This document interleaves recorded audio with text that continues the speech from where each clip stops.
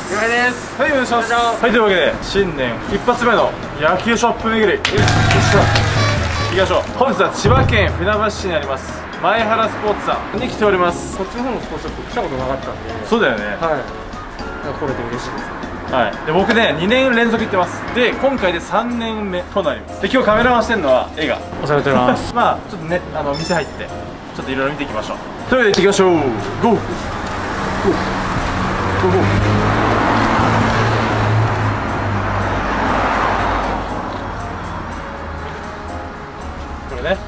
大きくで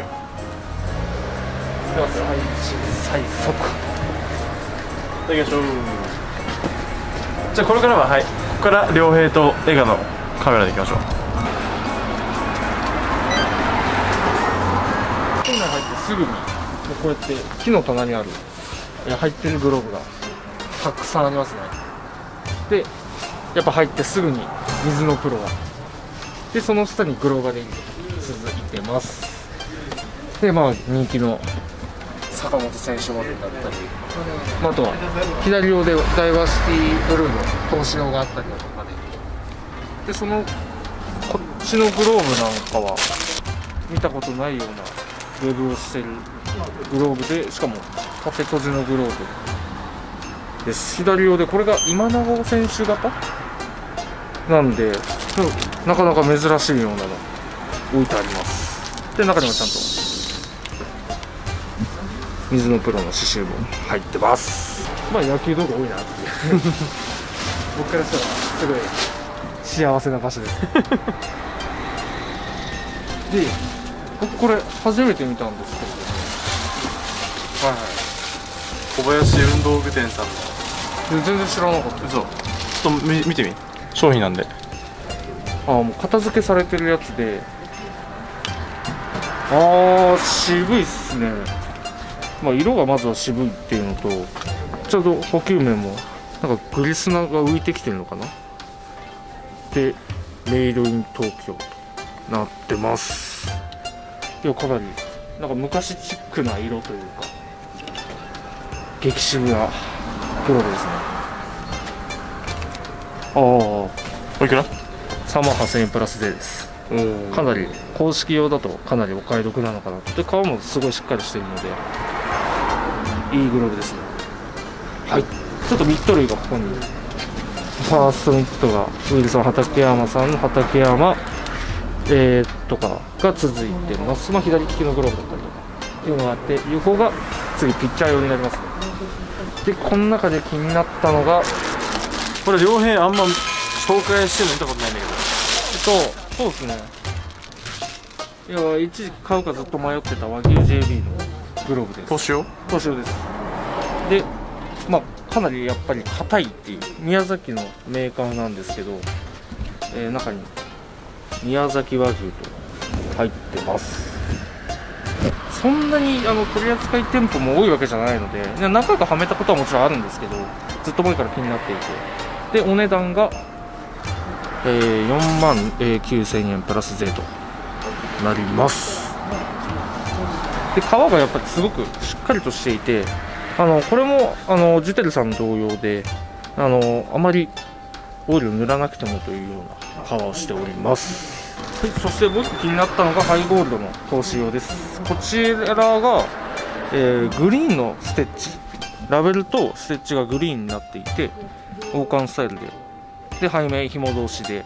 あまり見ないようなスタイルのグローブなのでこちらもまあ高校生とかだと普段まあ投手なんかはグローブ単色でえ使わなきゃいけないのでこういった細かいところでおしゃれできるのはいいのかなと思います。お値段が4万5800円プラス税となります。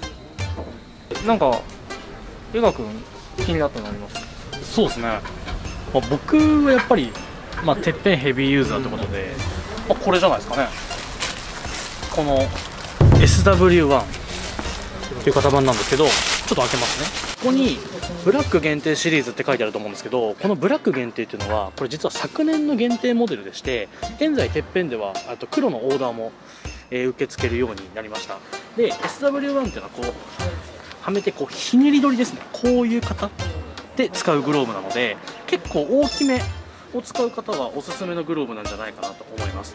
あのプロ野球選手の楽天の菅原修投手が実際使ってる型番と同じなんで結構こうひねって取る使う人は結構おすすめとなってます。僕が気になったのはキャッチャーミット類がずらーっと並んでて、まあ、僕の好きなあの畠山さん Z 等々があるんですけど、まあ、僕が気になったのはこちらのファーストバックスタイルの Z のキャッチャーミットになります。超鮮やか浅いか。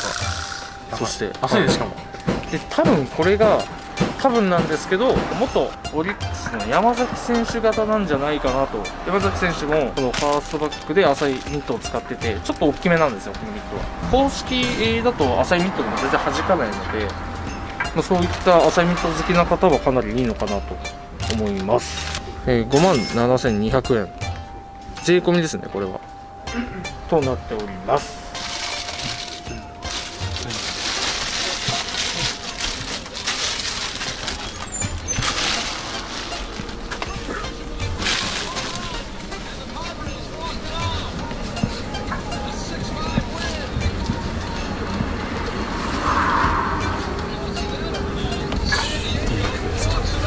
はい、で続いて、えー軟式コーナーなんですけどやっぱ軟式特だけあってその、まあ、中学生が使えるものでしたりとかあとカラーリング豊富な草野球人の、えー向けのグラブだったり。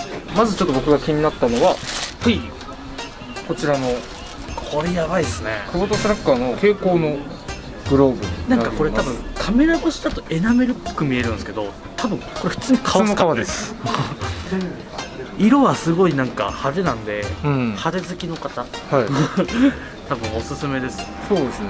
でえっ、と補給面もちょっとポケット広めなグローブで、えー型番が、えー 25MS という型番になります。派手なグローブ、えー映えるグローブを使いたい方はご検討してみてはいかがでしょうか。であの僕初めて見たんですけどこちらのディープ S の着物グラブ。もう本当に派手だなっていうすごい。はい。これは翔平 TV で2回ぐらい紹介してはいます、はい、でまあ今までちょっとあまりこういうグローブを見てこなかったのでまあ、派手っちゃ派手だけど型はどうかなっていうね。まあ普通のピッチャーの方ですね。全然大丈夫です。いやこれ俺素朴な疑問なのはもしねこれ使った人がいて手入れ。いやー本当にここだけ本当に革じゃなくてそうなんですよ。全然違うんですよそういうなんて言ったらいいですかね。本当に着物の素材のようなものを使ってるのは確かにそうなんで洗濯？いやーブラッシング？クリーニング？クリーニング出しますかじゃあ。なでも知らんわその真面目な話これ革じゃないですか。はい。でこう型とかつけていくとこういうところがどうなるのかちょっと気になりますよね。そうですね確かに。まあ多分実際使う人ってあんまいないと思うんですけど。いるんですよ実は。そうです女子プロ選手で使ってまあなるほど。す何名か使ってます。あまあでも多分試合とか練習だけだと思うんですよ。まあいや試合で使ってる。使うんですか？うん。使ってる。本当ですか？使って使ってる。へー試合で本当。試合で使えるんだいくらですか？と4万2000円プラス税金です。あでもそうそんなに思ったよりだったんですねこれ意外うに、んもっと高いかなっていう。で本当に僕がちょっと気になってるのがあってで僕が気になってたグローブはこちらのプロモデルのウィルソンのグローブです。かっこいい。そうですね。こちらどっちも僕が好きな選手のはいはいはい。グローブでこちらが、えー山岡選手。オリックスの。はい。はいはいはい。だからまああの同い年ですごいピッチングスタイルも好きなので。同い年。でこっちが僕が愛してやまない外崎選手。多分確か外崎選手のモデルかなっていう。同い年。全然違います源田選手と同い年だったはずなんですけど気になるのはこっちもこっちも気になるんですけど特徴としては山岡選手はピッチャーなので指カバーがないじゃないですか。確かに。これ小指で使ってるんですよ。そうなんですよ。そうです。じゃあこういうこういう感じで使ってるんですか？そうです山岡選手はあのー前のナイキ使ってたのかな？その時から確か小指だったような気がします。なんかどことなく翔平さんの Z に似てますね。まあそうそう。色俺のは王冠なんでね。そうですね。しかもここがこれウィルソン特有の。リアルですね。外崎選手は丸みを帯びてポケットが深いんですよ。ウィルソンさん特有の全部レザーが違うんですよ。型押しされてるんですか？そうです。でこっちはラメが入ったりとかで。本当だ。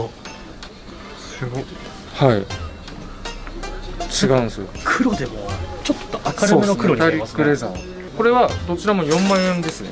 4万円のプラスデーになります。なんか大きさ同じぐらいかもしれないですね。そうですね。富崎選手も思いっきりこれが何年モデルだか忘れちゃったんですけど、えー2020年昨年からは小指2本で使ってるんですよ。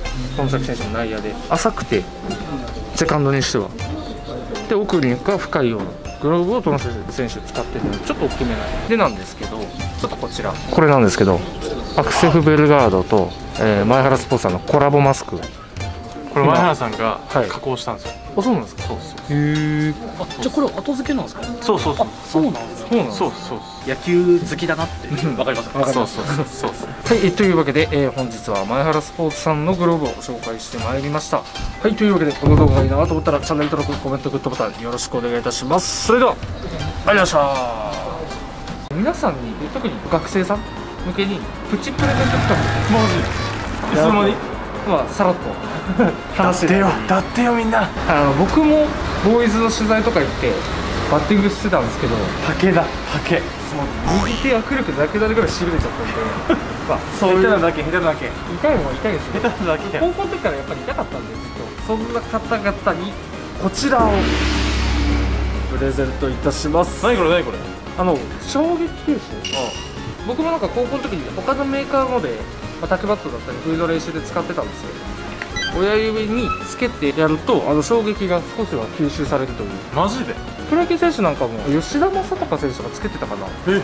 あこの間スポーツ王ではい。石橋さんがつけてました。そういったあの竹バット使ったりだとか、まあ、金属でも痛い時は痛いのでこちらを学生さんかな？2名の方にプレゼントしたいと思います。これ色的に黒だから使えるんですよね学生でもなんでまあもちろん試合だとちょっと違和感あるなっていうんだったら練習でどんどん打つ時に使っていただいてもといったようなところで、まあ、学生さん2名にプレゼントさせていただきます。すごい。良平からの初プレゼント。まあちょっとまだかっこんで。でもね金額じゃないから。まあそうですね。うん気持ちだから。ぜひちょっとまあそのうちでけえの待っとけって感じ いや良平の家にあるグローブでいいあそうっすね。なんか1個ぐらい1個ぐらい見つけろって自分でかい方だと思うんだけど、うん。でもまあそれもまあ一応企画してるもんね。まあまあまあ何かっていうのはまだ発表してないですけど。はい。そうです。絶対どっかで暴れてやろうかなとは思ってるので。応募方法がチャンネル登録と僕のインスタの、えーこれ上げるので。インスタの投稿ね。にこれ関係の投稿するから、そのコメント。そこにコメント。はい。で期間はまあ気まぐれで。気まぐれって分かりづらでまた動画で発表と、はい。まあそのインスタでもまあそうです発表ね。当選者この方です。と、本日の動画は以上となります。チャンネル登録コメントグッドボタンよろしくお願いいたします。それではありがとうございました。よいしょーはい。プリントするグローブはこれプラス？こちら。見ました。はい。こちらこれはい。HZ プロステの源田選手モデルのこのバスケットウェブのグローブ。軟式用です？基本的にチャンネル登録とえ僕らのインスタフォローは必須ということで翔平 TV の、えーチャンネル登録者が8000人突破したプラスモンタナさんの、えーインスタを貼っておきますんで、えーフォロワー数が3000人突破したらプレゼント企画を開始とプレゼント企画のお知らせです。チャンネル登録8000人達成で、現代モデル軟式内野仕様をプレゼント。熱いコメントをしてください。8000人達成次第、抽選開始、たくさんのご応募をお待ちしております。そして、翔平 TV イベントも開催しておりますので、こちらもチェックしてみてください。翔平 TV にやってほしい企画があれば、ぜひともコメントよろしくお願いします。それでは、ありがとうございました。本日の動画は以上になりますチャンネル登録コメント高評価よろしくお願いしますそれではありがとうございました翔平 TV T シャツ販売走れ大井チャンネル大井くんの T シャツも販売しております。モンタナスポーツのリンクから飛べますのでぜひともチェックしてみてください。皆様チャンネル登録はお済みでしょうか？チャンネル登録1万人まであとちょっと頑張っていきますので皆さん応援の方よろしくお願いします。それではありがとうございました。